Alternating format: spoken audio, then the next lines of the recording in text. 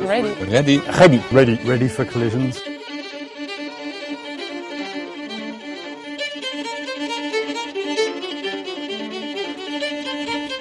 Over the weekend, as you know, we got uh, ramp beams to three and a half TeV.